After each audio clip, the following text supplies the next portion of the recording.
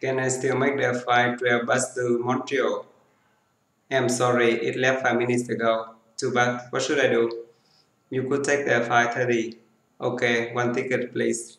One way or round trip? Round trip please.